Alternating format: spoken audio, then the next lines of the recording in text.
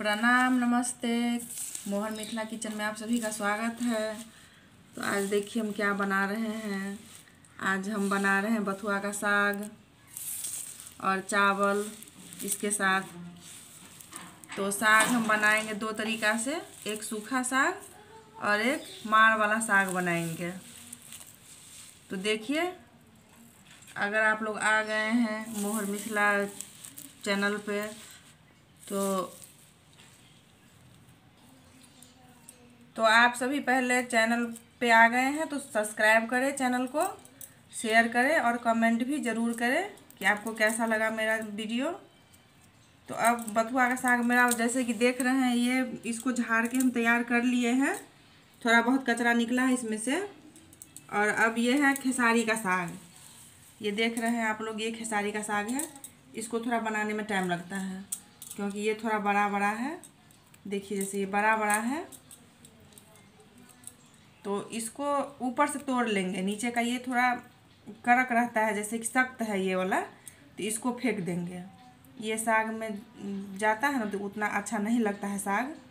तो इसको हटा लेंगे और जो सॉफ्ट वाला रहेगा, इस तरह का पतला सा ऊपर से उसका इस्तेमाल हम करेंगे। देखिए, अभी मार्केट में नया नया साग उतरा है तो इतना बड़ा बड़ा बिक रहा है।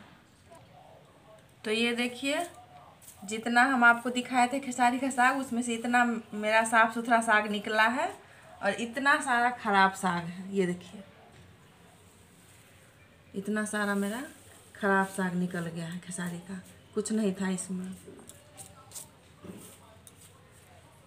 तो अब हम इसको काट लेते हैं। तो ये देखिए, इतना ही साग जितना मेरे हाथ में है खेसारी का, इतना ही मेरा अच्छा साग निकला है।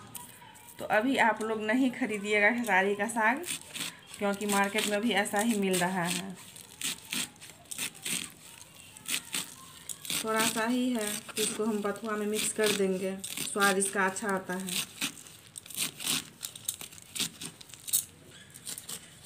तो थोड़ा मोटा मोटा ही है, क्योंकि हमको उतना महीन काटना नहीं आता है साग, जैसे तैसे हम अपना काट लेते हैं।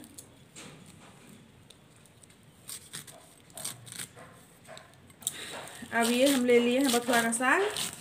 इसको अब काट रहे हैं। जैसे तैसे हम काट लेते हैं। उतना अच्छा तो मेरा साग काटने का हुनर जो होता है वो हम में नहीं है। तो देखिए, साग को जैसे तैसे काट लिया है। अब इसको हम बनाने के लिए जा रहे हैं। धो के पहले इसको धोएँगे अच्छा से। आप लोग बने रहिए, देखते रहिए कैसे मेरा साग आज बनने वाला है। ठंडी के मौसम में साग बहुत अच्छा लगता है खाने में। कोई भी साग हो, ठंडी में साग खाना चाहिए सबको। हेल्दी होता है साग, फ़ायदेमंद भी। तो देखिए, हम आ गए हैं किचन में। अब साग को अच्छा से धो लेंगे पहले। उसके बाद आगे क्या करना है, वो आप सबको दिखाते रहेंगे। तो देखिए साग को अच्छे से साफ़ कर लिया है धो के तब इसको कुकर में डाल रही हूँ। कुकर में बनाऊँ। तो कुकर में सारा साग डाल दिया है हमने। अब इसमें डालना है हमको नमक। स्वाद के हिसाब से जितना नमक लगेगा। तो साग हमारा कम था। थोड़ा सा मतलब ज़्यादा साग नहीं है तो इसमें हिसाब से हम नमक डाल रहे हैं। जितना स्वाद के अनुसार लगेगा उतना ही। और अब इसमें डाल लेते हैं हिसाब से पानी, ताकि अच्छा से गल जाएगा। तो हम छोटा गिलास, एक गिलास पानी डाल दिए हैं। तो अब गैस हमने ऑन कर दिया है। कुकर को डाल दिए अब इसको बंद कर देते हैं। बंद करने के बाद इसको अच्छा से हम चार पाँच सीटी लगाएँगे। तो देखिए भात बनने के लिए हमने पानी भी एक साथ डाल दिया था। तो अब ये पानी गर्म हो चुका है। अब इसमें चावल लगा देते हैं।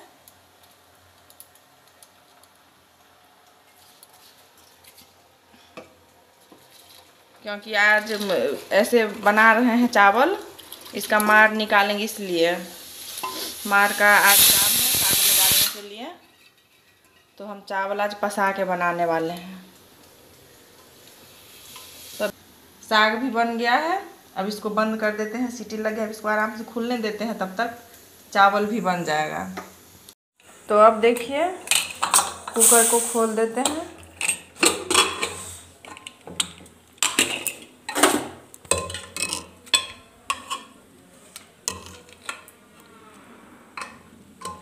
साग को देख लेते हैं पका कि नहीं। हाँ ये हो गया है पूरा तरह से। तो देखिए, जैसे कि दिखाए थे कि सागा पक गया है, इसको हम मिलाएँगे अच्छा से। तो ये हम ले लिए हैं। दाल घुटने वाला है ये। हम लोग इसे दल घुटनी बोलते हैं। इसको अच्छा से मिला लेंगे, ताकि पूरा मिक्स हो जाए अच्छा से।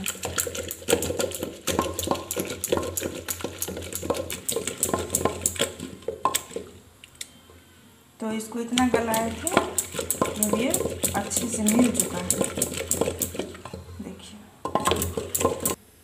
तो हमने गैस पे कढ़ाई डाल दिया है। अब साग का छौंका तैयार कर लेते हैं अच्छा से। तो देखिए आप लोग, तेल गरम हो चुका है। अब हम इसमें थोड़ा सा जमाइन और थोड़ा सा मंगरेला डाल रहे हैं, थोड़ा सा ही। अब इसमें मिर्ची और लहसुन दोनों साथ साथ में। तो देखिए, चावल भी अब हो गया है भात। अब इसको पसा लेते हैं। चावल को पसा रहे हैं अभी। तो ये पुराना चावल है, इसका मार इसलिए थोड़ा पतला आ रहा है। देखिए फोरन भी लाल हो चुका है, अब इसमें साग डाल देते हैं। गीला है तो थोड़ा भी इसको अच्छा से भून के सुखा लेंगे पहले। क्योंकि थोड़ा सूखा साग भी हमको रखना है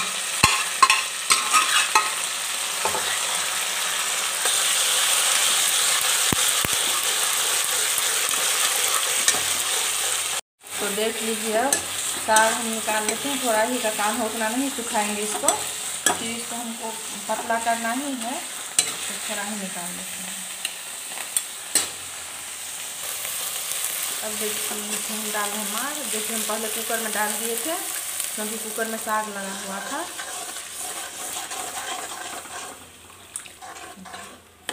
देखिए तो इसमें हम डालें अपने हिसाब से, जितना हमको पतला रखना है इसको। ज़्यादा पतला नहीं करना है, मीडियम में ही पतला करना है। बस, हो गया।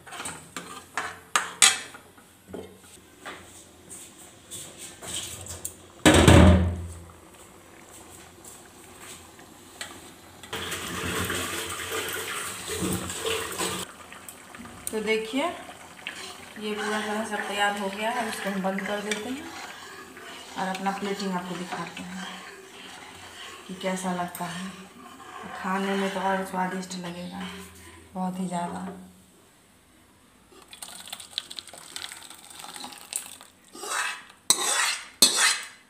नमक हम अभी नहीं डाले हैं, जितना हम उबालते वक्त डाल दिए थे, उतना ही डाले हैं। ऊपर से नहीं दिए हमको लगता है कि नमक। ठीक है, हिसाब किताब से। इसीलिए ऊपर से हम नहीं डाले तो देखिए प्लेट हमने ले लिया है। अब इसमें खाना लगा रहे हैं। तो आप लोगों ने देखा कि कैसे कैसे हमने बनाया है आज। भात और साग मार वाली। तो अगर आप लोग पूरा वीडियो देख लिए हैं तो चैनल को लाइक करें, सब्सक्राइब करें। और वीडियो को कोशिश करें कि पूरा का पूरा देखें कि कैसे हमारे किचन में मोहन मिथिला किचन में कैसे बनता है, क्या बनता है। और पसंद आए तो शेयर भी करें। तो आज का खाना हमारा रेडी है। अब हम लोग जा रहे हैं खाने के लिए। देख लीजिए आप लोग।